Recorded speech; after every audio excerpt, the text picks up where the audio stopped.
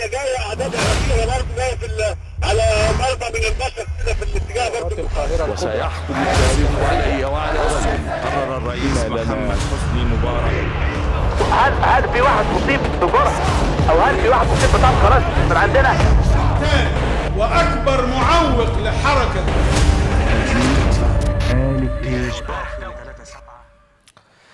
السلام عليكم ورحمة الله وبركاته. أهلا ومرحبا بكم مشاهدينا الكرام في هذه الحلقة من مباشر مصر. مشاهدينا في هذه الليلة ربما هي حلقة خاصة حول نتائج انتخابات البلدية في إسطنبول والتي فاز بها مرشح حزب الشعب الجمهوري أكرم إمام أولو على مرشح حزب العدالة والتنمية الحاكم بن علي يلدرم بنسبة 54% في هذه البلدية بعد فرز 100% من الأصوات الصحيحة. ولكن ربما مشاهدينا الكرام هذه الانتخابات بالتحديد منذ بدايتها في الدورة الأولى لها أو في الجولة الأولى حدث جدل كبير واسع ربما داخل تركيا وانتقل حتى لدولنا العربية وخاصة في مصر يدور الجدل كثيرا حول أهمية هذه الانتخابات. آه، ولكن البعض يتناولها بالتحديد آه، الإعلام المصري يتناولها من منظوره هو الخاص من منظور تخوين آه، ال- ال- السلطة التركية تخوين الرئيس أردوغان آه، بشكل خاص آه، يعني آه، الإشاعات التي آه، يقولونها هنا وهناك بأنه إنهار ويعني إنهار حزب العدالة والتنمية وإنهار أردوغان. في النهاية هذه انتخابات بلدية وهذه الإعادة كانت في إسطنبول. آه، بالتحديد. مشاهدينا أرحب بضيفي هنا في الاستوديو الدكتور عبد الوهاب كنجي المحلل السياسي التركي. آه، دكتور عبد الوهاب مرحبا بك. آه، دكتور عبد الوهاب في البداية ما الذي يعنيه فوز آه، مرشح الحزب الجمهوري أكرم إمام أوغلو ببلدية إسطنبول؟ عفوا لو كررتم السؤال. نعم ما الذي يعنيه؟ ما, ما هو معنى أن يفوز مرشح حزب الشعب الجمهوري أكرم إمام أوغلو ببلدية إسطنبول آه، بعد آه، سيطرة حزب العدالة والتنمية على هذه البلدية بالتحديد لسنوات طويلة. نعم. آه، طبعا يعني اولا قبل أن أجيب على سؤالكم أتمنى من الله أن آه، يكون هذا الانتخاب ونتيجة هذا الانتخاب لصالح تركيا. ويكون سببا ل يعني خطوات نحو الأمام. آه، ثانيا آه، يعني هذا الانتخاب قد أثبت بأن الدولة الدولة التركية هي دولة ديمقراطية وتستند على شعبها آه، وليست مثل الأنظمة الأخرى خصوصا يعني في بعض الدول العربية. آه، يعني آه، ديمقراطية باسم بدون مسمى أو انتخاب يعني صوري وليس له معنى آه، ولكن تركيا ليست كذلك كما نعلم. وهذا وهذا الانتخاب في الحقيقة هو يتضمن جوابا لمن يتهم رئيس الجمهورية بالدكتاتورية ولمن يتهم تركيا بأن هناك ضغط وهناك يعني لمجة حرية. آه، لو كان الأمر كما قالوا آه، لما يعني فاز يعني مرشح حزب المعارضة أو الأحزاب المعارضة لأن نعم. إمام أغلو هو ليس مرشح لحزب الشعب آه، الجمهوري فقط لأن هناك يعني حزب آه، هناك يعني حزب أحزاب أخرى متفقون معها وفي نفس الوقت آه، المؤيدون والمتساندون له هناك أيضا يعني حزب ال- آه، جماهير الديمقراطية. نعم. يعني الشعوب الذي- الديمقراطية. آه، نعم. حزب الش- آه، الشعوب الديمقراطية. آه، الذي يقولون نحن نمثل الأكراد يعني آه، طبعا ليسوا ممثلين للأكراد ولكنهم يعني يستغلون اسم الأكراد وامتداد ل بيكيكي آه، يعني آه، نجاح أو آه، يعني فوز هذا المنتخب يدل على أن تركيا يعني دولة ديمقراطية نعم. والذين يقولونه ليس له أصل بالنسبة يعني لأردوغان ولحزبه هناك حزب الحاكم وهناك رئيس جمهورية نعم. وكما كما يعلم آه، آه، الذين يعرفون تركيا بأن هناك يوجد صلاحيات دستورية كثيرة وقوية بيد أردوغان آه، ماذا يعني؟ أريد أن آتي إلى إلى جواب سؤالكم. ماذا يعني نجاحه ونتيجة هذا الانتخاب؟ يعني في الحقيقة هذا انتخاب البلدية ليس انتخاب الحكومة وليس انتخاب يعني للرئاسة. وهذا الانتخاب هو الانتخاب الثاني الجولة الثانية للانتخاب لأن في الانتخاب الأول كان هناك فرق قليل جدا بين مرشح حزب العدالة والتنمية بن علي الظلم وكان وبين أكرم إمام أولو مرشح حزب حزب حزب المرشح المعارض. نعم. أو, أو, أو مرشح المعارضين نعم. يعني حتى يعني هذا التعبير أصح نعم. يعني بين حزب العدالة والتنمية ومرشحها وبين حزب المعارضين آه، ولكن يعني في الجولة الأولى يعني آه، كان هناك يعني بعض الشبهات والاستفهامات على أنها ليست نزيهة آه، وعندنا في تركيا أي انتخاب آه، عندما يتحقق يعني من حق الأحزاب الذين يعني يجدون هناك خللا معارضا مخالفا للقوانين للقوانين لهم حق الاعتراض وتقديم اعتراضاتهم إلى القضاء نعم. وحزب العدالة والتنمية. قد قام يعني بأداء يعني ما يستحقه نعم. يعني قانونيا. نعم. نعم سأعود إلى هذه النقطة آه، دكتور عبد الوهاب ولكن آه، دعني أضع ال- المشاهدين آه، الكرام وخاصة فيما يتعلق بعملية ال- العملية الديمقراطية أو ربما من منظور الشعب التركي كيف يتعاملون مع هذه المواقف؟ بمجرد ظهور النتائج الأولية التي آه، تظهر فوز مرشح المعارضة إمام أغلو أكرم إمام أغلو آه، كان هناك تصريحات لبن علي يلدرم آه، غريم آه، أكرم إمام أغلو المنافس لأكرم إمام أغلو في هذه الانتخابات التي خسرها آه، وهو مرشح حزب العدالة والتنمية آه، بن علي يلدرم. خرج في مؤتمر صحفي مباشرة بعد ظهور النتائج الأولية وقال منافسي أكرم إمام أغلو يتصدر حاليا. أهنئه وأتمنى له النجاح.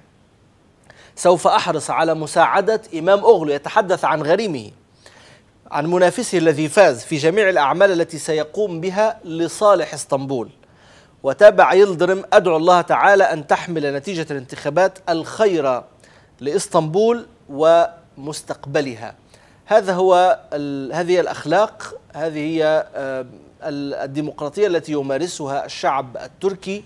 هذا هو الفكر العالي. هو يعمل دائما لصالح دولته ولصالح بلده. يقول لصالح إسطنبول ليس كدول أخرى عندما يفوز أحد المنافسين تقوم الدنيا ولا تقعد وتكون هناك يعني لا يكون هناك تهنئة للمنافس.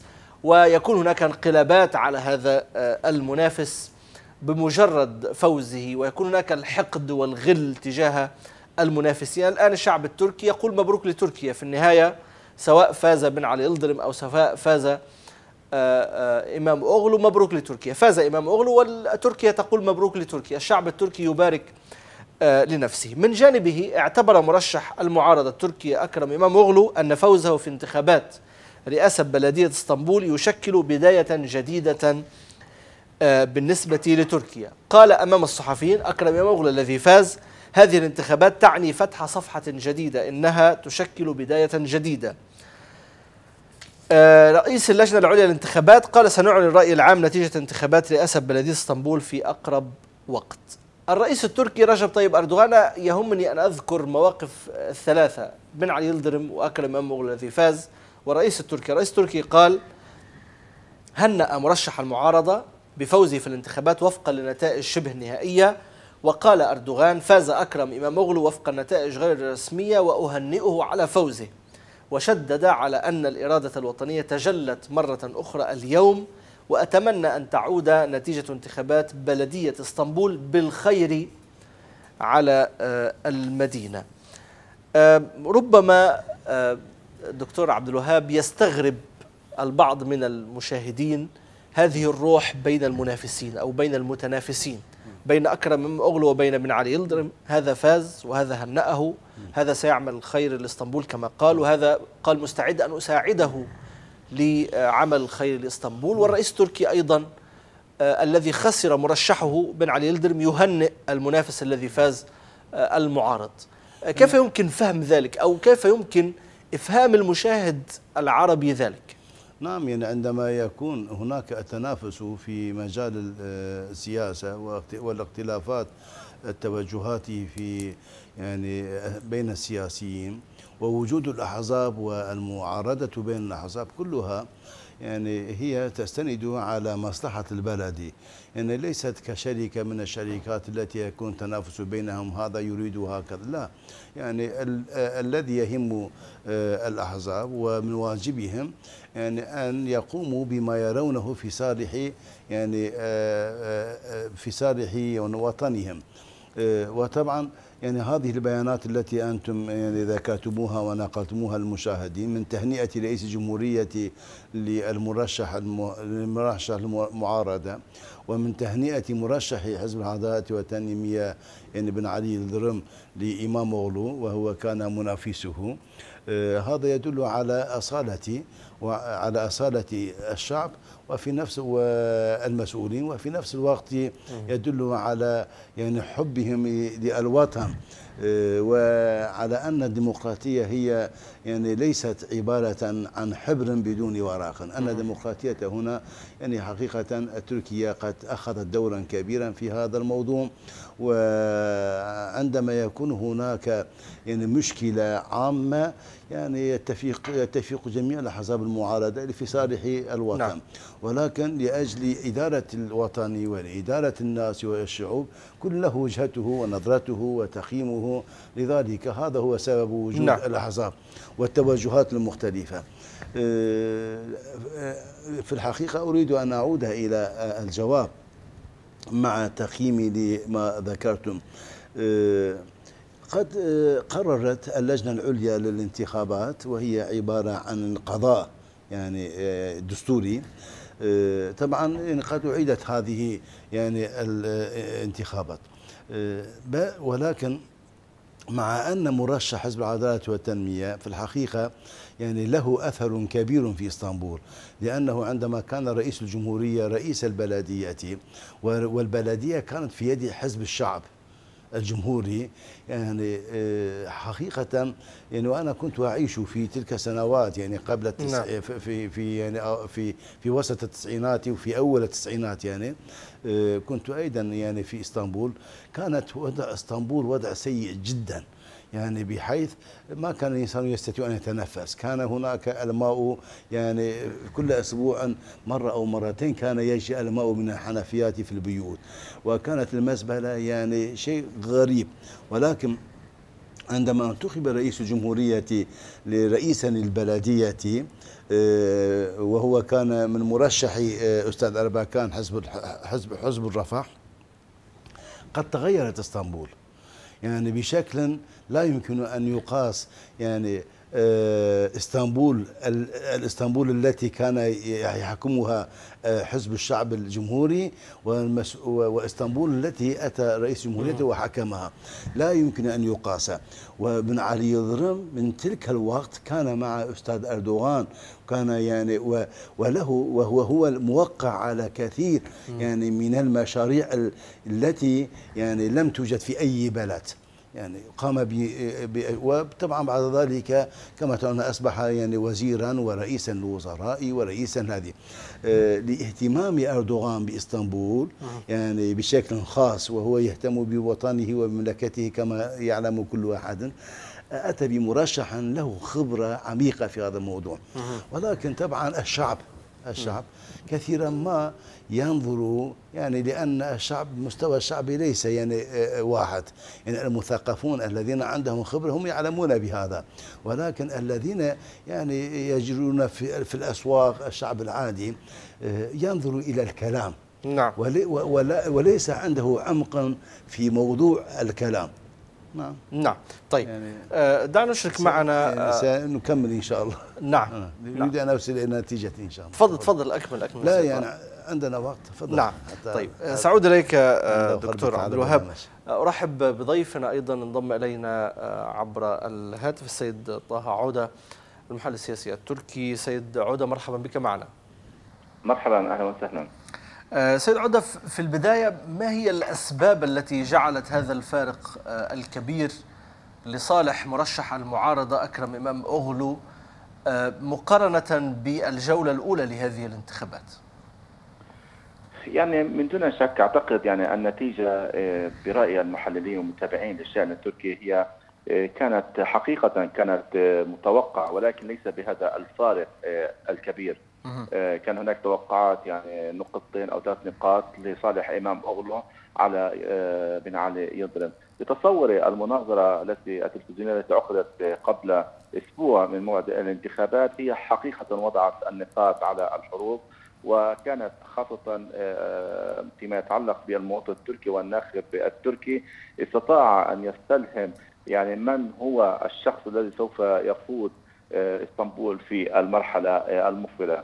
يعني هناك بعض حقيقة يجب أن نتوقف وأن نعترف أن هناك بعض الأخطاء ارتكبت من قبل الحزب الحاكم وخاصة فيما يتعلق بالمرشح. بن علي آه، يضرم على الرغم أنه شخصية سياسية مرموقة كرئيس وزراء رئيس برلمان وزير آه، سابق ولكنه لم يستطيع أن يلامس آه، متطلبات والمواطن التركي بعكس المرشح المعارضة الذي كان هناك لاحظنا هناك بعض الخطوات أقدم عليها وكان هو حقيقة تلمس آه، جاء بنفس السياسة والأسلوب الذي استخدمه الحزب الحاكم طيلة آه، العقود آه، الماضية.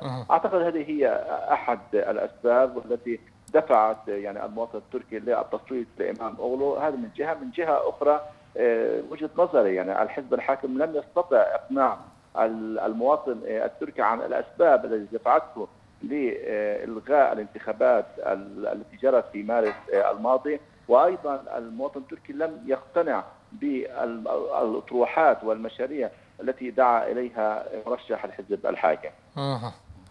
نعم وصلت هذه الفكرة سأعود إليك سيد طه. أعود مرة أخرى لدكتور عبد الوهاب. آه، دكتور عبد الوهاب آه، رغم آه، ما ذكرته رغم ما ذكره السيد طه عودة بأنه بن علي يلدرم شخصية سياسية مرموقة وله وله تاريخ لكنه لم يستطع أن يلامس متطلبات الناخب التركي يقول ذلك الأستاذ طه عودة. وهنا سيدي- السؤال ما هي متطلبات الناخب التركي التي لم يعني- يستطع آه، بن علي يلدرم أن يلامس فيها آه، هذا يعني الناخب لو نحن قلنا يعني لم يستطع متطلبات يعني آه، في الحقيقة آه، بن علي يلدرم هو رجل سياسي ويعني قام بدور كبير في إسطنبول وفي أثناء آه، رئاسه البلدية لأستاذ أردوغان ومع أردوغان في الحكومة المركزية إلى أن وصل إلى أن أصبح آه، رئيس البرلمان. يعني هو يعني هو آه، استطاعته للمتطلبات يعني أكثر بكثير يعني من استطاعة من هو مجهولا وليس له دور وعمق في السياسة ولكن المشكلة آه، وكنت أريد أن أصل إلى. نعم. هذه النقطة وهو جواب على السؤال الذي طرحته على نعم. الأخ نعم بعد يعني قرار اللجنة العليا بإعادة الانتخاب وفي الحقيقة حزب العدالة وحزب الحاكم هو طلب اعترض يعني على التفريز وعلى أن هناك يعني بعض يعني ب ب ب هناك أسباب م- من و- وجودها توجب قانونيا خروقات يعني. آه، خروقات يعني. نعم. و- وكان عندهم يعني آه، آه، يعني وكان عندهم بعض يعني أدلة آه، أدلة والوثائق. وطبعا تقديم الوثائق هو الذي دفع القضاء على أن يحكم. وهذا يدل على أن القضاء هو أيضا حر في تركيا. كيف؟ حزب العدالة والتنمية هي طلبت طلبت من حقها قانونيا أن تعترض أن يعيد الإفراز ليس الانتخاب. يعني لأن لأن إعادة ال- الفرز. الفرز نعم. تقريبا يعني كم يعني أعيدت كمية ووجد هناك فرق كبير. وهم طلبوا طلبوا من القضاء يعني من اللجنة العليا أن أن أن يعيد الإفراز في على مستوى إسطنبول جميعا. نعم. ولكن حزب الشعب الجمهوري اعترض على هذا. نعم. بعد اعتراض اعتراض حزب الجمهور حزب الشعب الجمهوري القضاء قرر بإعادة الانتخاب. عندما عندما قرر بإعادة الانتخاب هذا سبب سبب ردة فعل للشعب كأن حزب العدالة والتنمية بدأت تأخذ الحق المحقق آه، لمرشح المعارضة. وهذا طبعا هو خلاف الواقع. ولكن حزب العدالة والتنمية خلال يعني الجو الانتخابي لم تستطع أن تقنع الشعب بأنهم هم مظلومون كأن إمام غلو هو قد سلب حقه. وطبعا طبيعة الشعب التركي يعني لو نحن نظرنا إلى سياسة يعني ومراحل آه، التي مرت عليها الشعب الشعب هو مع المظلوم. عندما يظلم أي سياسي يقفون معه. يقفون معه. حتى أستاذ أردوغان من الأسباب الرئيسية التي أوصلته إلى هذه المكانة هو يعني ما تعرض له من الظلم لما- ومن لما دخل ومن السجن. السجن. طبعا نعم. لذا الآن هذا أصبح سبب. السبب هذا سبب من الأسباب. يعني لو حزب العدالة والتنمية حزب الحاكم أقنع الشعب لما حصل. وهذا حصل سبب ردة فعلا. لذلك حصل هناك فرق. يعني فرق من 17000 وصل إلى 700 ألف. نعم. تقريبا إلى 800 ألف حتى يعني 780 يعني تقول بأن الشعب صوت عقابا, عقاباً للعدالة والتنمية على أنها على ظلمت أنها- إمام أغلو. على أنها ظلمت إمام أغلو. لا لأجل أن إمام أغلو هو الذي أجدر من من علي يلدرم وهو يعني سيأتي من تتربت هذا السبب. سبب ثاني من الأسباب آه، في آخر يعني قبل يومين هناك نشر بيان لعبد الله أوجلان نعم. لعبد الله أوجلان هذا البيان سبب ردة فعل من طرفين. الطرف ال- ما هو مضمون البيان في, ال- في مضمون البيان. نعم. يعني آه، طلب طلب من آه، حزب الشعوب الديمقراطية. نعم. يعني أن يكونوا من. أن لا ينحازوا إلى أي طرف. نعم. أن لا يصوتوا لأي طرف يعني. يصوتون لأنفسهم لا يصوتون لا لحزب الشعب الجمهوري. لا لمرشح المعارضة ولا لمرشح حزب الحاكم. نعم. طبعا عدم يعني ترشيحهم تصويتهم لأي جهة هذا سيكون في صالح من؟ في صالح يعني آه، آه، آه، حزب حزب حزب بن علي يلدرم بن علي يلدرم. بن علي يلدرم نعم. لأن أصواتهم هم الذين يعني في الجولة الأولى. نعم. يعني أصواتهم يعني كثير طبعا. إن أصواتهم ليس قليله نعم. يعني أظن يعني تقريبا يعني في يعني في آه، في إسطنبول 30 آه، 30% لهم قوة يعني في إسطنبول 30 أو 20% هذا أصبح سببا من أسباب ردة فعلا لقاعدة هذا الحزب وفي نفس الوقت الذين كانوا يصوتون لحزب العدالة والتنمية يعني من قاعدة حزب القومي الشعوب الديمقراطية؟ لا لا آه، آه، الحركة. القومية. الحركة القومية نعم. أيضا أبعدتهم عن آه، تصويت لحزب العدالة والتنمية. هذا هو صار سببا يعني هذا البيان أصبح ليس في صالح حزب الحاكم أصبح في صالح حزب المعارضة. السبب الثالث من الأسباب التي يعني أنتجت هذه النتيجة إمام أغلو بدل أن يكثف جهوده يعني على ما يقوم به ويقدم المشاريع كثف جهوده يعني على الم- المشاكل الموجودة في تركيا وطبعا يعني هناك مشاكل نعم. اقتصادية نعم. هناك يعني آه، مشاكل أخرى وتركيا مع أنها تعيش في بين لهب حتى يعني وهناك مؤامرات عالمية نعم. آه، ضد تركيا وهذه سببت وجود يعني أزمة اقتصادية نعم. هو كأنه يرشح نفسه للرئاسة بدأ يتكلم والشعب لم يفرق بين إسطنبول والبلدية وبين هذا هذا أيضا أصبح سببا من أسباب ردة فعل المصوتين لصالح حزب المعارضة نعم وفي نفس الوقت بدأ بأسلوب يعني ليس يعني بأسلوب لين عاطفي. آه، عاطفي نعم. آه هذه أسباب من نعم. وهناك أسباب أخرى نعم. لو سمحت سنعود تتعلق إليها. بحزب المعارضة بحزب الحاكم طيب سنعود لهذه الأسباب التي تتعلق بحزب الحاكم ولكن دعني أعود مرة أخرى للسيد طه عودة. آه، سيد طه عودة فكرة ال- ال- اللعب على عاطفة الناخب التركي هل نستطيع القول بأن إمام أغلو نجح فيها إلى حد كبير؟ يعني يعني من دون شك آه، أعود إلى الوراء قليلا. الرئيس التركي رجب طيب أردوغان عندما فاز برئاسه الوزراء آه، كما تعلم في عام 1994 هو كان تسلم رئاسة بلدية إسطنبول ومن ثم دخل السجن وبعدها آه، حصل تدرج في السلطة من رئيس وزراء آه، الرئيس آه، التركي الحالي. ما أقصده موضوع المظلومية. أعتقد استخدم آه، إمام اولو هذه آه، الجزئية وخاصة فيما يتعلق بأنه وصل آه، إلى آه، بلدية إسطنبول وبقي 18 يوما في هذه البلدية ولكنه تم إجباره من قبل الحزب الحاكم كما كما يقول. أعتقد استطاع إمام اولو خلال الفترة الأخيرة الماضية أن يقنع المواطن التركي يعني بأنه هناك بعض الأخطاء التي ارتكبها حزب العدالة والتنمية. أستطاع أن يقنع المواطن التركي بأنه هو يعني هناك حالة من المظلومية هذه هي آه، نقطة هي خدمت بشكل آه، كبير آه، ولكن ولكن. ما هي حقيقة هذه المظلومية سيد عودة؟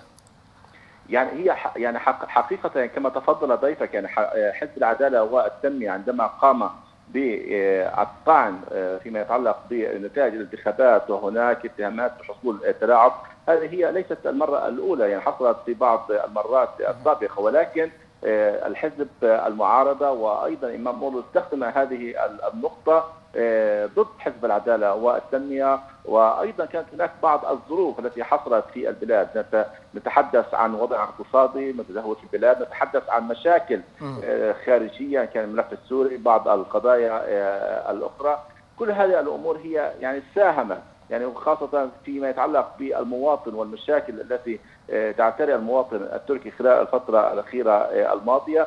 هذه نقطة نقطة آه، أخرى يعني حقيقة يعني ال- المرشح حزب الشعب الجمهوري أو المرشح الم- المعارضة يعني كما ذكرت وأعود وأكرر هو يعني استخدم نفس الأسلوب الذي استخدمه حزب العدالة والتنمية في السنوات الأخيرة ال- الماضية وخاصة فيما يتعلق بأنه يعني هو قريب جدا من المواطن آه، التركي وهذا عادة حزب الشعب الجمهوري هو كان دائما بعيد جدا عن آه، المواطن. هو تحدث عن قضايا جوهرية للشعب آه، التركي والمواطن التركي وخاصة في مدينة إسطنبول.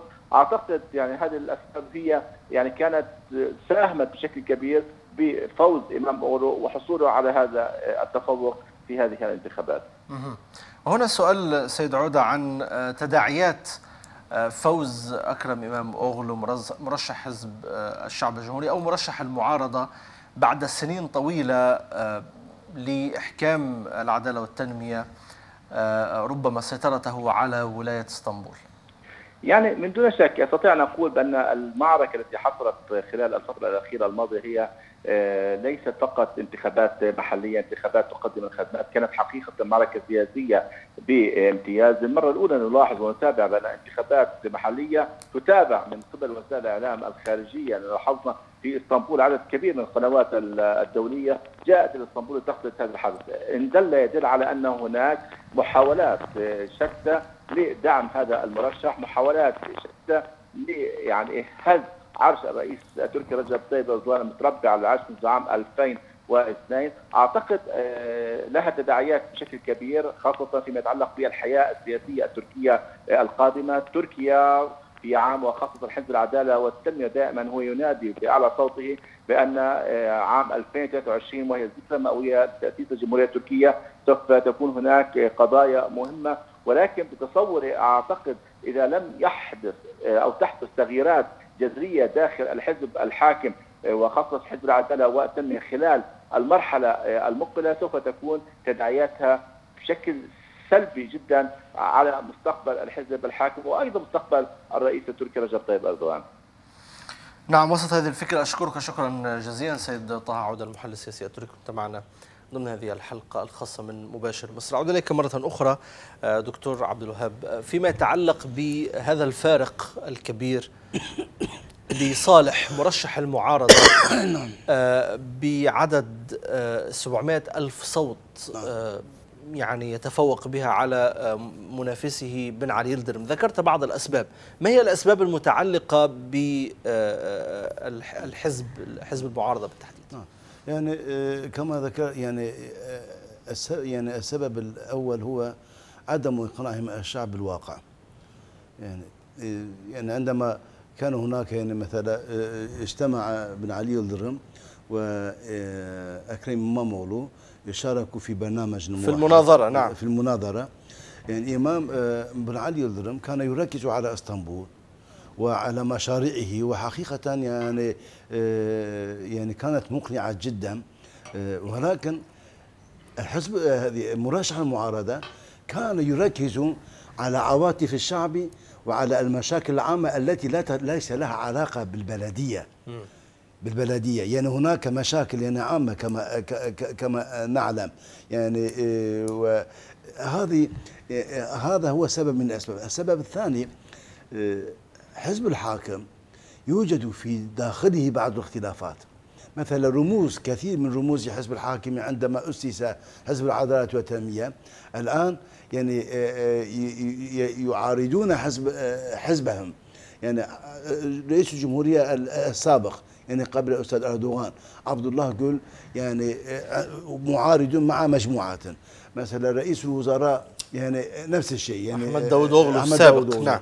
وهذه أيضا يعني جرحت أصبحت آه، سببا لجرح يعني الحزب الحاكم ولعدم حماسة حماسة الذين كانوا يقومون يعني آه، آه، بالحماس من قبله يعني هذه آه، مشاكل واللغة اللهجة مثلا كثيرا ما كانت في بعض الرسائل متشددة يعني من قبل من؟ يعني بعض الكلمات التي يعني من قبل رئيس الجمهورية نعم. يعني متشدد الأسلوب كان أسلوب يعني غير آه، آه، هذه كان أسلوبا آه، قويا يعني نعم. يعني آه، آه، ليست ليس أسلوبا لذلك يعني حزب المعارضة آه، ومرشح حزب المعارضة استغل هذا الموضوع وفي كل كلام يعني هو مرشح للبلدية عليه أن يذكر مشاكل البلدية نعم. وأن يقدم للشعب يعني مشروعه لحل هذه المشاكل. ولكن كان يركز على العواطف التي يتعاطف معه معه الشارع. مثلا يعني نحن آه، يعني يعني كلام لين يعني كأنه متعاطف كأنه يعني يحضن كل كل الناس. وكان يعني آه، يحاول أن آه، يجعل يعني كلمة آه، متشددة إلى حد ما كأنها يعني رصاصة يعني بي- يعني ويبالغ في الطرف الآخر. وهذه النقاط البسيطة في الحقيقة هي آه، كانت سببا من الأسباب. لذلك يعني حزب العدالة والتنمية لو قام بمعالجة هذه النقاط يعني في المستقبل أقوى الح- أقوى الحزب طبعا هو حزب العدالة والتنمية مع أن مع ما حصل. يعني قبل آه، قبل هذا الانتخاب الأخير يعني كان أكثر من 50% نعم.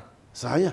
آه، ولكن آه، هذه الأسباب التي ذكرناها يعني التي لم تتعلق بالحزب الحاكم آه، ومع وجود بعض الأسباب يعني في داخل حزب الحاكم آه، هم دفعوا الشعب إلى أن آه، يعني إلى هذه النتيجة. إلى هذه النتيجة.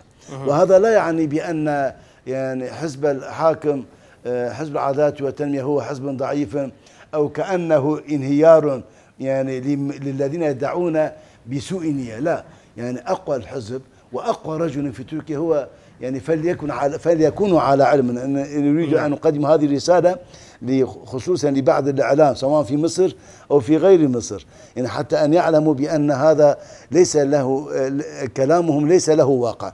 أقوى شخصية في تركيا آه، أيضا آه، أردوغان وأقوى الحزب يعني مع أن المعارضين كلهم اجتمعوا مع اجتماعهم مع يعني يعني مع اتفاقهم آه، يعني لم يتقدموا على هذا الحزب إلا في هذا الانتخاب وهو انتخاب خاص بإسطنبول وهو له أسباب يعني عدة ومنها أيضا نعم. حتى فلنكن يعني آه، الدول الخارجية آه، إنني أعتقد بأن لهم دخل إلى حد ما لأجل أن تكون النتيجة هكذا لماذا؟ لأنهم يعارضون يعني نعم. آه، طيب أردوغان طيب حضرتك يعني ذكرت في طيات حديثك. آه، آه، السيد عبد الوهاب ذكرت بأنه آه، أكرم إمام أغلو يتحدث إلى الشعب بشكل عاطفي وكأنه متعاطف. صحيح.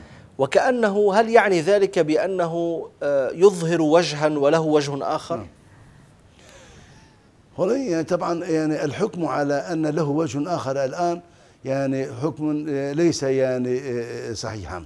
يعني على الأقل كما يقول ماذا عن تاريخ الرجل؟ يعني- ستب- يعني- ستبدي لك الأيام. يعني كلامه وأسلوبه في الانتخاب هو كان جزءا من برنامج الانتخاب. ولكن هل هذا الجزء هو واقعي أم لا؟ ستبدي لنا الأيام ما كنا نجهله أو لم ي أو, أو لم نستطع أن نحكم عليه. ولكن أنا ك يعني ك كمحلل إن عندما آه، أستمع وأنظر إلى المواقف آه، يعني آه، كأنها يعني آه، جزء من أجزاء أو أسلوب أو مادة من مواد أسباب النجاح. أسباب النجاح. يعني الإنسان إن كان بطبيعته كذا شيء ولكن يعني هناك مثلا بعض يعني آه، بعض الناس يقول لا يلزم عليك أن تفعل هكذا يلزم أن تقول هكذا يلزم أن تتكلم بهذا الأسلوب يعني هذا التوجيه ومن خلال هذا التوجيه الكلام بهذا الأسلوب هل هو كلام أو هو يعني طبيعي أم لا هذه ال- الأيام القادمة هذه آه، كلها ستشرحها ولكن أتمنى يعني أن يكون آه، الكلام هو أيضا في نفس الوقت نعم. واقعيا لماذا؟ آه، لأن يعني وأنتم ذكرتم في آه، في في في ابتداء البرنامج يعني بتهنئة رئيس الجمهورية له وبتهنئة يعني منافسه نعم. له وبتهنئة جميع أكيد يعني يلزم آه، أن يهنئ بعضهم بعضا والانتخاب قد انتهى لذلك أنا لا أتمنى لا أتمنى يعني أن يكون هناك يعني ما يخالف الكلام يعني نتمنى أن يكون آه، آه، الرئيس أن ينفذ ما قاله يعني أن ينفذ ما قاله نعم. وأن يحضن الجميع نعم وأن طيب يحمل ما الجميع. ما ولكن هل ما هذا سيتقن يعني؟ أو ما دلالات ما قاله أكرم إمام اوغلو بعد آه، ظهور النتائج بفوزه قال أنا مستعد لزيارة رئيس الجمهورية آه، للتعاون معه أو للمشاركة في آه، إدارة آه، إسطنبول والاستفادة من خبرات الرئيس. طبعا أكيد يعني هذا يعني هو ليس غنيا عن رئيس الجمهوريه يعني لأن بعد المشاكل بعد يعني آه، آه، آه، يعني آه، آه، آه، الأعمال آه، هي آه، ليست آه، في بيد آه، رئيس البلدية. يعني يلزم يعني هناك أن يكون يعني آه، اتفاق وتعاون بينه وبين بعض الوزراء وبينه وبين رئيس الجمهورية. وهذا الكلام كلام جيد يعني آه، آه، الذي ذكره إمام غلو يعني ومن واجبه وفي نفس الوقت هذا الأسلوب هذا الكلام مثل كلام مثل ما تكلم به بن علي يلدرم يعني بعد تهنئته نحن مستعدون على أن أن نساعدك، نعم. نساعده وأكيد رئيس الجمهورية هو سيساعده يعني في دائرة المساعده مهم. ومن واجب رئيس الجمهورية أن يساعد يعني. ومن واجبه أن أن يعني يستشيره وأن يعني يأخذ رأيه وأن وأن وأن يتعاونون في بعض النقاط المشتركة. نعم. هذه دولة آه، وهذه نعم. نعم. نعم. واحد هناك يعني. هناك من صور آه، دكتور كنجي هذه الانتخابات وكأنها تصويت على شعبية الرئيس التركي رجب آه، طيب أردوغان. سأعود إلى هذه النقطة بعد فاصل قصير مشاهدينا الكرام. فاصل ثم نواصل. ابقوا معنا. مسيرة تانية جاية أعدادها كثيرة برضه جاية في على مربع من البشر كده في الاتجاه برضه وسيحكم التاريخ علي وعلى رجل قرر الرئيس محمد حسني مبارك. هل هل في واحد مصيب بجرح أو هل في واحد مصيب بطعم خلاص من عندنا؟ وأكبر معوق إيش؟ 3 7 آلة قتل. مش دولة حقيقية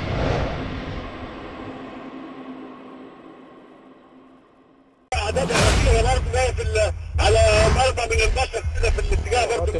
وسيحكم التاريخ علي وعلى رسول قرر الرئيس محمد حسني مبارك. هل هل في واحد مصيب بجرح أو هل في واحد مصيب بطعم خلاص من عندنا؟ وأكبر معوق لحركة.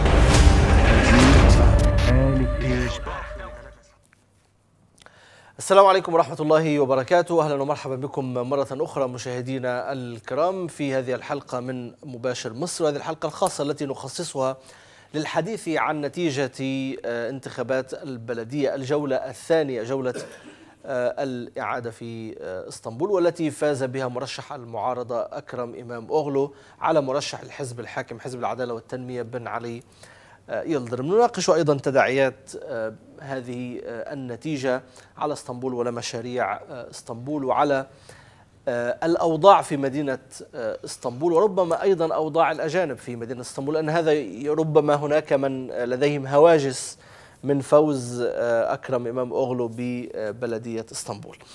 أعود إليك مرة أخرى أرحب بضيفي الدكتور عبد الوهاب إكنجي المحلل السياسي التركي. دكتور إكنجي هناك من اعتقد أو من يصور بأن آه، هذه الانتخابات وهذه النتيجة آه، تعد استفتاء على شعبية الرئيس التركي رجب طيب أردوغان وبالنتيجة يقولون بما انه مرشح المعارضة هو الذي فاز اذا شعبية الرئيس انهارت وبالتالي أي استحقاق قادم سيكون لصالح المعارضة آه، كيف لا، نفهم هذا؟ لا هذا هذا هذا الادعاء أو هذا الكلام ليس صحيحا. اولا يعني طبعا هذه الآن الانتخاب الموجود هو انتخاب خاص بإسطنبول. ويعني الانتخاب العام الذي يعني تحقق آه، يعني حزب العدالة والتنمية هو كان في الدرجة الأولى من الفوز يعني آه، ولكن هناك فرق يعني مثلا مدن الآن يعني في إسطنبول آه، المدن ثلثاء يعني 70% من المدن في يد حزب العدالة والتنمية. نعم. مجلس مجلس الإدارة البلدية. البلدية يعني آه، ثلث آه، عند المعارضة وثلثان لحزب العدالة والتنمية. نعم. يعني آه، لذلك يعني أيضا الحزب الناجح والفائز هو حزب العدالة والتنمية. هناك الشعب التركي حقيقة يعني عنده بعض الميزات الجيدة آه، منها إعطاء الدرس والتنبيه يعني لكل من يحتاج إلى التنبيه. يعني كأن كأن نتا هذه النتائج يعني قد آه، أعطت رسالة لحزب الحاكم لأجل تقييم المسار نعم. ولأجل يعني إصلاح أو إملاء بعض الفراغ الذي هو موجود يعني في الاقتصاد وفي غيره. آه، لذلك يعني شعبية آه، أردوغان أقوى شعبية يعني على الإطلاق في في تركيا. نعم. أقوى شعبية. يعني لو آه، لكن أليس بن علي يلدرم هو مرشح الرئيس التركي رجب طيب أردوغان. ولكن كما ذكرت هناك أسباب يعني خاصة بهذا الموضوع. نعم. يعني آه، آه، وهذه وبعض الأسباب هي أسباب جديدة. أسباب جديدة. وفي نفس الوقت ال- الناس هم يتأثرون بشكل بالسن المنتخب وفي نفس الوقت بأسلوبه وبكلامه نعم آه، تقصد بأنه بن علي يلدرم نعم. كبر سنه و نعم. ولغته لم ولا- لم يستطع من خلالها لغة- الناخب لغة بن علي يلدرم نعم. وكلامه أملأ من كلام بن علي آه، آه، إمام أولو. نعم. يعني ال- الإنسان آه، آه، ال- يعني ال- المستمع ال- آه، صاحب تجربة وصاحب علم والذي عنده يعني خلفية سياسية إن حقيقة ليس لا يقاس بن علي يلدرم بإمام أولو. يعني كأن واحد أستاذ والآخر تلميذ. ولكن الشعب لغة الشعب شيء آخر. يعني آه، آه، كالخطباء. يعني هذا هو أيضا سبب من من من الأسباب. يعني ادعاء بأن شعبية أردوغان قد يعني قد يعني أصبحت في في انخفضت أو- انخفضت نعم. إلى حد أن أن أن يناقش مكانة أردوغان. هذا ليس صحيح. كيف تفسر فرحة بعض ال- الإعلاميين أو ربما إعلام بعض ال- الأنظمة آه، بفوز آه، مرشح المعارضة. وربما كيل آه، أو الشماتة في يعني خسارة مرشح حزب العدالة والتنمية أو إن استطعنا القول مرشح الرئيس التركي رجب طيب أردوغان بالتحديد. يعني هذا أيضا يعني يدل على أنه هو أيضا سبب من أسباب هذه النتيجة. يعني بمعنى؟ لأن- نعم. لأن الت- يعني نحن ذكرنا نتائج كثيرة. يعني نتا- أسباب كثيرة. لهذه النتيجة التي قد يعني حصلت. منها ما يتعلق بالمرشحين ومنها ما يتعلق بحزب العدالة والتنمية. نعم. صحيح؟ آه، ولكن هناك سبب ثالث وهو هذا المواقف التي أنتم ذكرتموه لأن يعني هذه المواقف أيضا له دخل يعني وله حصة في آه، نت- نتاج هذا الانتخاب. وهذه آه، آه، و- و- وه- و- ولغة الغرب ويعني الإعلام الذي ذكرتموه هو يدل على أن آه، أردوغان هو مستهدف. لماذا هو مستهدف؟ يعني لأنه آه، يقوم بصالح وطنه وبدأ ب ب يعني قيادة الوطن إلى الأمام وبالمشاريع التي هي يعني تفتح أمام تركيا آه، وبالاستقلالية التي يعني لم يلبي الأوامر أو على الأقل يعني آه، يعني سيعارض بعد الطلبات من أمريكا آه، لذلك يعني هم يعني يفرحون بالنتيجة ويتوقعون أن تكون نتيجة هذه الانتخابات كأنها يعني كأنها انتخابات الرئاسة نعم. بين أردوغان وبين غيره ولكن هذا انتخاب ليس انتخاب الرئاسة وليس انتخاب المجلس وإنما هو انتخاب البلدية وعدد الأكثر يعني في البلديات هو في يد الحزب الحاكم أهمية فوز ال- ال- المعارضة ببلدية إسطنبول وتأثير ذلك على المراحل القادمة أو الاستحقاقات القادمة بما لمدينة اسطنبول من رمزية كبيرة وهي أكبر كتلة آه، انتخابية. يعني طبعا لها تأثير يعني على الأقل. يعني اسطنبول هي يعني كأن يعني كأنها صورة الصورة يعني كوبيا لتركيا يعني. نعم. أكيد لها تأثير. يعني إيجابي وسلبي يعني على على على السياسيين يعني سواء كان كانت المعارضة أو كان حزب الحاكمين. ولكن آه، يعني أنا في اعتقادي بأن خلال هذه السنوات يعني لو آه، قام أستاذ أردوغان بالدفاع وبالقيام ما آه، تحتاجه تركيا يعني طبعا التي تتعلق بالحكومة المركزية ويعني آه، قرب رئيس البلدية إلى نفسه آه، هو سي يعني باستطاعته أن يجعل رئيس البلدية كأنه يعني آه، رئيس من من يعني كأنه ليس رئيس المعارضة نعم. يعني لو كأنه ضمن نعم. أفراد حزبه يعني.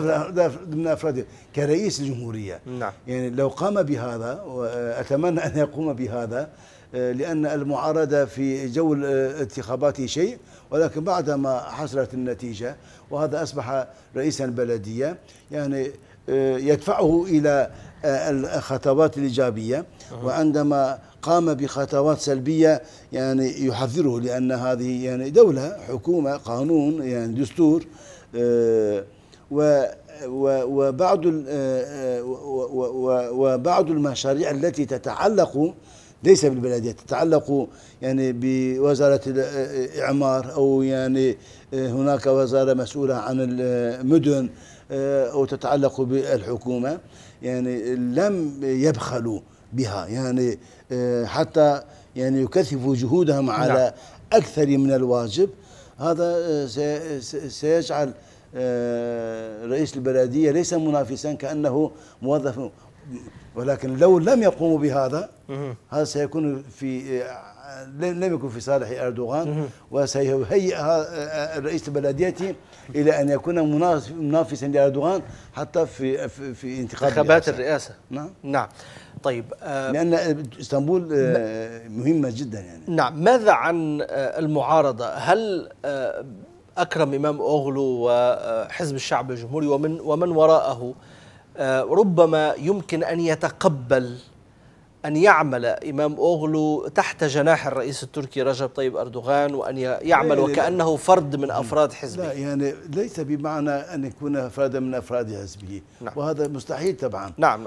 يعني ولكن يعني مواقف أردوغان لو كانت بهذا الأسلوب ولم يعني يجعله كمنافس يعني حتى لابن علي يضرم آه، لأن يعني رئاسة البلدية هي يعني ك ك ك ك يعني بين بين الموظف والرئاسة نعم. يعني جميع البلديات. نعم. يعني لأن بعض ال يعني هم تابع البلديات تابعة لهذه ل- ل- لوزارة الداخلية. ووزارة الداخلية هي يعني عندها يعني صلاحية لتفتيشهم ولكل شيء. والمجلس مجلس البلدية أيضا في يد في يد حزب العدالة والتنمية ب- ب- لا يستطيع بدونهم.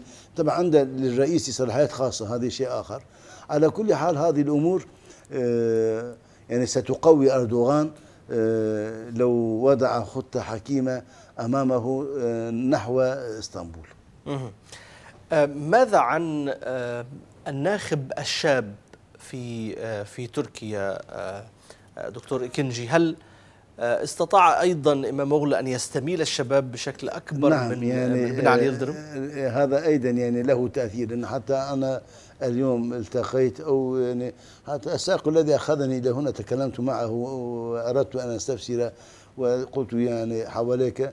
نعم يعني هذا هذا هذا الوضع هو أيضا سبب من أسباب توجه الشباب يعني آه، وطبيعه الناس يعني كما يقولون كل جديد لذيذ يعني يريدون وجوه آه، يعني جديدة نعم. ومسؤولين جديد لذلك يعني على السياسيين الذين يعني آه، يحكمون الشعب مثلا 10 أو 15 سنة أو 20 سنة عليهم أن يأتوا بأوجه جديدة آه، وإن لم يأتوا بهم آه، الناس يبحثون عن وجوه جديدة وإمام أولو هو وجه جديد يعني, يعني آه، ليس ما كان معروفا والناس يعني يريدون أن يختبروا. يعني نحن تمام خلاص يعني أصبح لنا سنين هكذا. يعني فليأتي هذا الرجل ماذا يفعل؟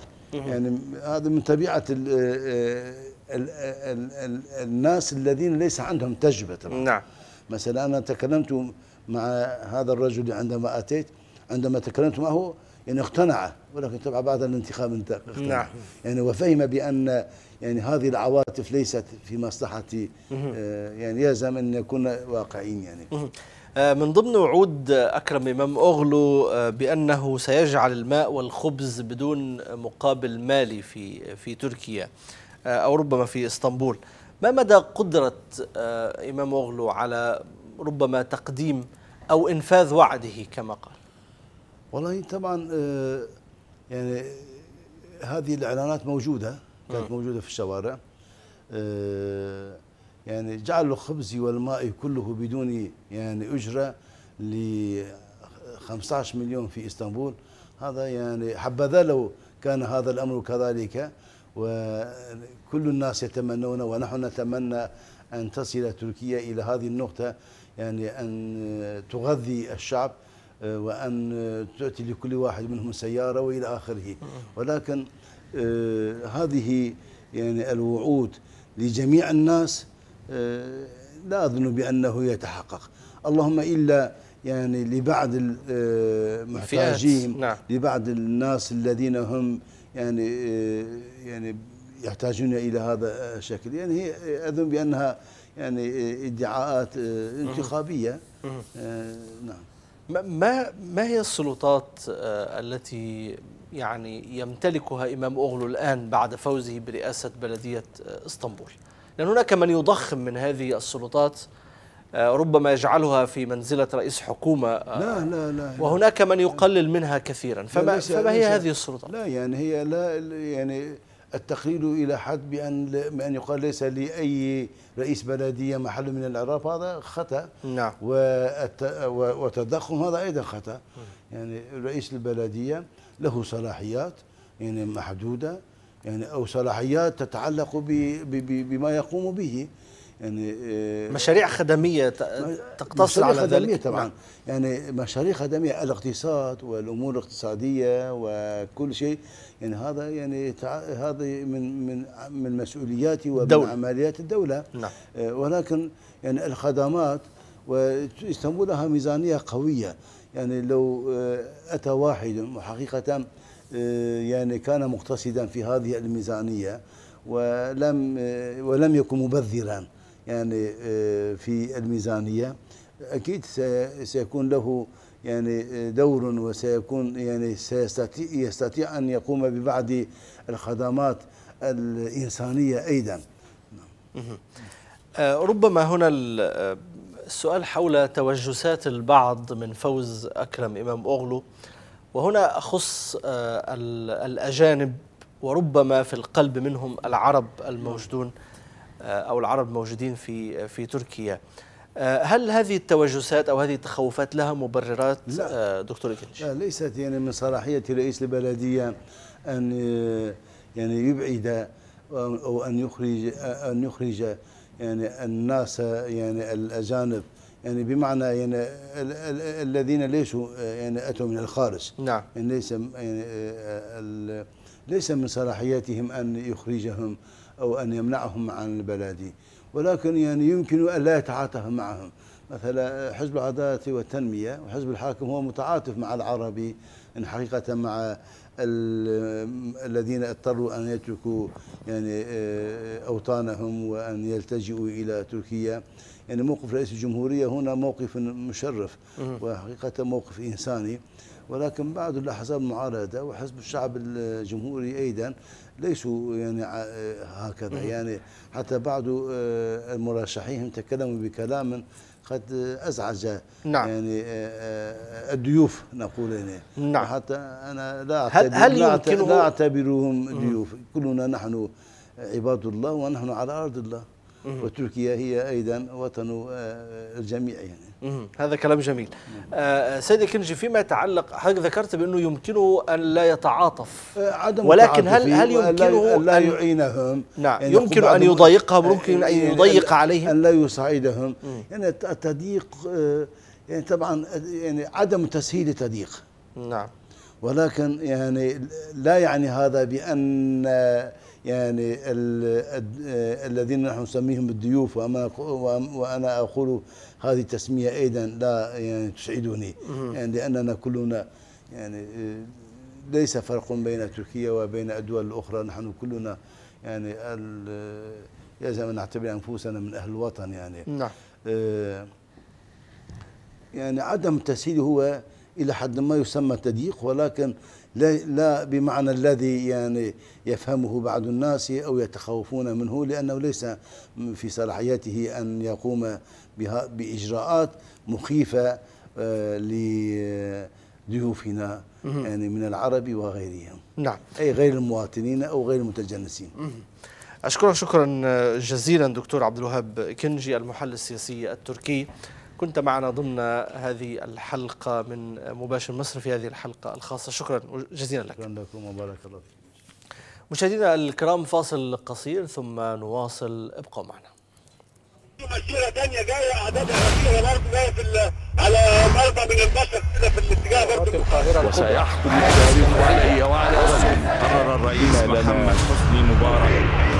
هل هل في واحد مصيب بجرح أو هل في واحد مصيب بطعم خلاص من عندنا ثاني وأكبر معوق لحركة.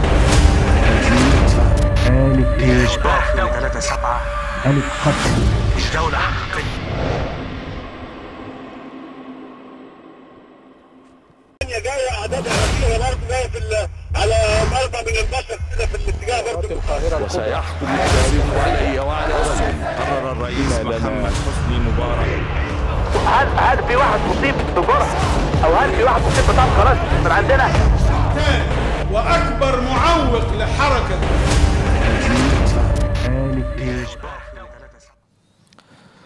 السلام عليكم ورحمة الله وبركاته أهلا ومرحبا بكم مجددا مشاهدينا الكرام في هذه الحلقة من مباشر مصر. مشاهدينا الكرام انضم إلينا الآن عبر الهاتف نجل الرئيس المصري الراحل الدكتور محمد مرسي.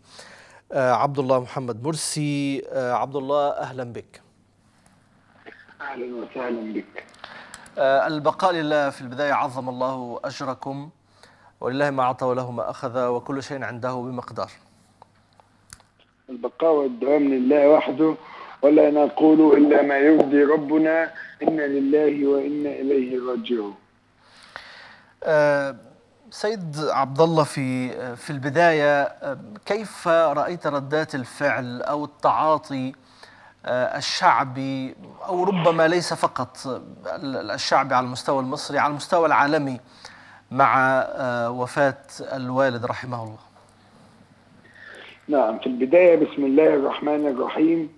ولا تحسبن الذين قتلوا في سبيل الله أمواتا بل أحياء عند ربهم يرزقون فرحين بما آتاهم الله من فضله ويستبشرون بالذين لم يلحقوا بهم من خلفهم ألا خوف عليهم ولا يحزنون. ثانيا في موضوع التعاطف يعني أرادوا منع جنازته والصلاة عليه في مصر حتى لا يشيعه ملايين من محبيه ولكن أشاء الله وأراد أن يشيعه ويصلي عليه صلاة الغائب ملايين من المسلمين الصالحين على مستوى العالم. وكان أول من صلى عليه المسجد الأقصى. قبلنا نحن حتى كان المسجد الأقصى. وأذكر قول أبي أن نفوسنا جميعا تتوق إلى بيت المقدس. ومسجد الأقصى أول من صلى على أبيه و- وآلاف المعتمرين من أدوا العمرة عنه. وآلاف من تضامنوا معه ومع وفاته وحزنوا عليه. نشكرهم جميعا. أسلجوا صدورنا وزادونا صبرا. والحمد لله رب العالمين. آه، سيد عبد الله لو تذكر لنا اللحظات ربما الأخيرة آه، قبل دفن الوالد عليه رحمة الله. نعم عندما وصلنا إلى مستشفى السجن ودخلنا على جثمان الوالد الشهيد نحسبه كذلك ولا نزكيه على الله وجدنا وجهه غاضبا كعادته مع هؤلاء المجرمين فهو رجل لا يقبل الضيف حيا وميتا لا يعطيهم وجه الرضا أبدا.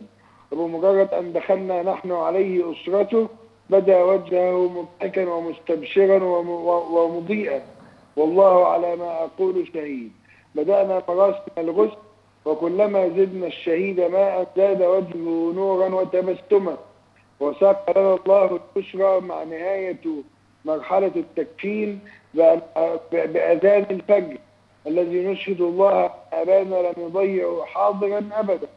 ثم بعد ذلك رفضنا أن يحمله معنا هؤلاء الإنجاز فقلنا لهم أن جسده الطاهر لا لا تحمله أيديكم. ورفضنا أيضا أن يصلوا عليه وذهبنا به إلى مثواه الأخير وأنزلناه مقابر أسيادنا مرشدي جماعة الإخوان المسلمين وكان بجوار سيدي عاكف والذي أشهد الله أن جسده كان كاملا كما هو كأنه حي ولكن دون روح مما زاد له الله لنا البشرى. نحسبه شهيدا ولا نزكي على الله أحدا. والحمد لله الذي قدر لأسامة أخي المعتقل. هذا الأسد من ذاك الأسد.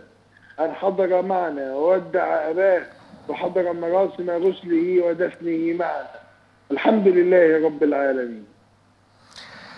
آه الحمد لله. آه سيد عبد الله يعني ما هي آخر آه ربما وصية كانت للدكتور محمد مرسي؟ أو هل كان له من آه من آه يعني خطاب أراد أن يوجهه من وصية أراد آه أن آه يوصلها من رسالة أراد أن يرسلها في آخر لقاء كان آه كان مع الدكتور محمد مرسي وهل كان ذلك من وقت طويل؟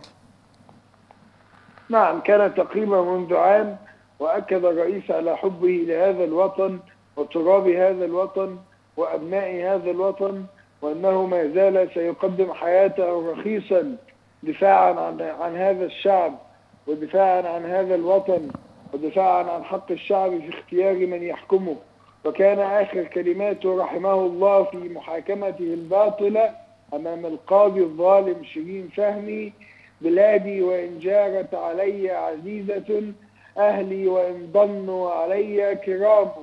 مما يؤكد بعد تعرض الرئيس للتنكيل والقتل الممنهج. أن ما زال قلبه متعلقا بحب بلده ووطنه وشعبه. ونحن ونحن على عهده من بعده. سنكمل ثورتنا ونكمل طريقنا. وهذا هو الطريق على مدار على مدار على مدار الحياة. هناك صراع بين الحق والباطل. اللهم اجعلنا من أهل الحق. وثبتنا عليه حتى أن نلقاه. ماذا عن آه، ظروف وملابسات ال- الوفاة؟ هناك الكثير من السيناريوهات حول ذلك هناك الكثير من الشهادات. هناك من يقول بأنه آه، الطبيب بمجرد آه، يعني ما الرئيس الراحل عليه رحمة الله أغشي عليه كان هناك طبيب وكشف عليه وتبينت الوفاة في حينها وهناك من قال بأنه نقل إلى المشفى. وهناك من قال بأنه ترك لمدة عشرين دقيقة يعني كيف يمكن الفصل في ذلك آه، يعني عبد الله؟ ما هي الحقيقة آه، حول ظروف وملابسات ال- الوفاة؟ الحقيقة هي أن الرئيس بعد أن سقط أرضا تركوه لمدة 20 دقيقة. لا نعلم إذا كان فرق الحياة بمجرد سقوطه أم بعد العشرين دقيقة أم أثناء نقله إلى إلى المستشفى. هذا في علم الله وفي علم المجرمين القتلة اللي كانوا مرافقين له. وعند الله نلتقي وعند الله تجتمع الخصوم لكن لكن ترك لمدة 20 دقيقة آه، عبد الله. نعم نعم. ماذا يعني هناك من يقول بأنه هذه تعد عملية اغتيال للرئيس سواء بطريقة مباشرة أو بطريقة غير آه، مباشرة. هناك البعض تحدث وقال بأنه لابد من آه، من آه، تحقيق شامل ونزيه. هل هناك تحركات في ذلك من قبلكم آه، كأسرة آه، الدكتور محمد مرسي؟ الرئيس مرسي تم قتله بالفعل ولكن لم يكن القتل يوم المحاكمة فقط ولكن الممارسات والانتهاكات والقتل البطيء كان على مدار السبع أعوام كان يمنع عنه الدواء وكان يمنع عنه الطعام. وكان في حالة حصار وعزلة تامة وكاملة عن كل البشر لا يرى أحدا على الإطلاق إلا نحن أسرته ثلاث مرات فقط على مدار السبع سنوات. كان في عزلة مع الله ولكن كان يقدم كل هذا رخيصا في سبيل هذا الوطن. وأنه أبدا لن يقبل الضيم وأنه أبدا لن يرضى أن ي... ولن يوافق على حكم الفسد ولن يعطي لهم الدنية أبدا.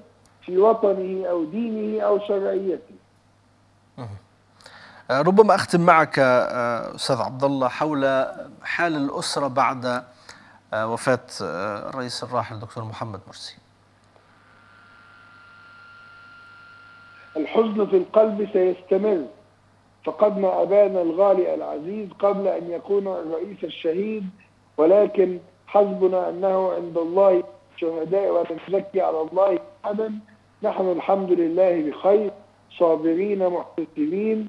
هذا ما عاش عليه أبي وكان يقول لنا دائما في حياته أتمنى ألا أموت في سريري وأتمنى أن أموت في سبيل الله واقفا أنصر الحق وأواجه الباطل. وقد حقق الله أمنيته بأن مات واقفا يواجه الظلم وينصر الحق وينصر المسلمين والوطن. ويدافع عن حقهم في اختيار من يحكمهم آه، سيد عبد الله إذا إذا كان من رسالة آه، فما هي ولمن آه، توجهها؟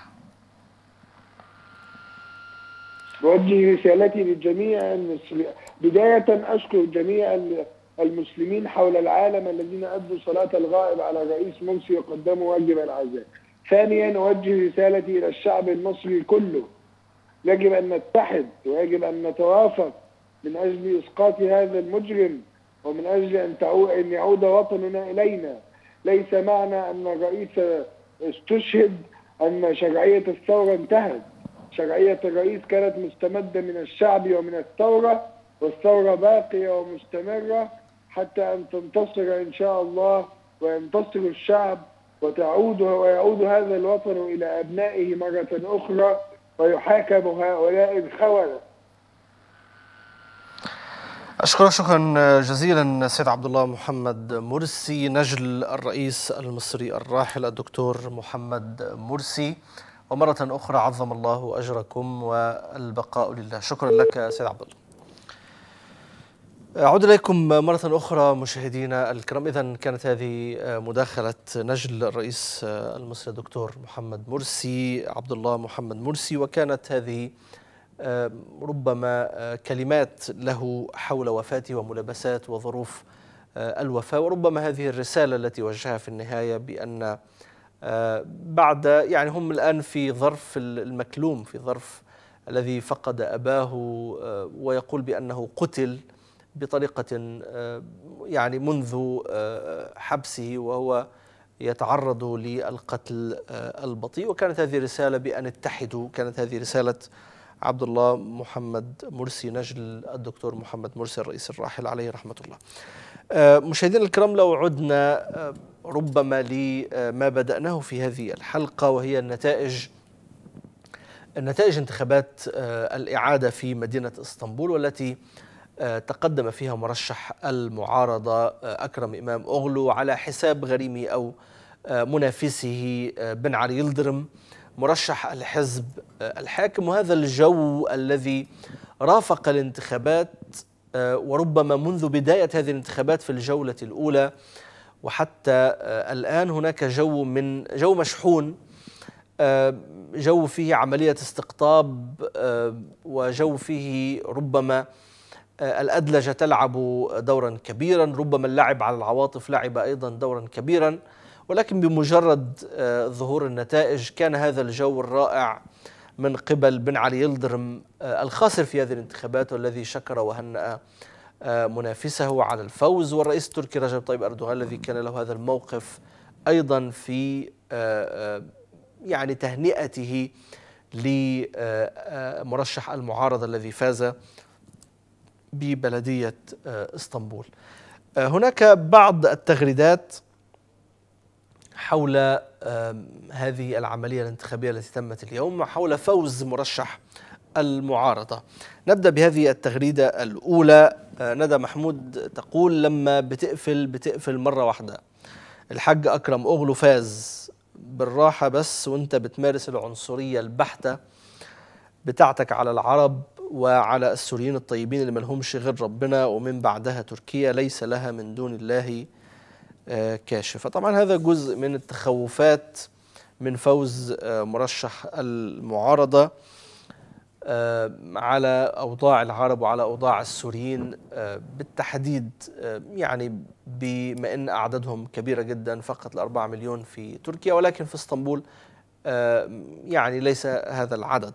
إسطنبول عدد أقل من ذلك بكثير ولكنهم هم الأغلبية من العرب في إسطنبول. أحمد تركي يقول فوز أكرم إمام أغلو برئاسة إسطنبول. ربنا يستر في اللي جاي. هذه أيضا تغريدة. أيضا فيها الخوف والتوجس من فوز أكرم إمام أغلو. ولكن أكثر المتابعين وأكثر المحللين يقولون بأن رئيس البلدية ليس من صالحه أن يطرد أحدا أو أن يمارس العنصرية بشكل يعني ربما هناك يكون بعض التضييقات أو ربما يكون نوع من عدم التعاطف كما كان في السابق. هذا بطبيعة الحال لأنه حزب العدالة والتنمية قدم الكثير للأجانب خاصة العرب وخاصة في القلب منهم قدم الكثير للسوريين بحكم هذه المظلومية التي يتعرضون له هذه القضية العادلة التي